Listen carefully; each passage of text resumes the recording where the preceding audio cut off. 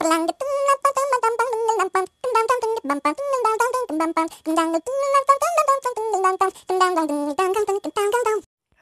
I'm John Reggie Manalo, second year from the section of Kako 1A.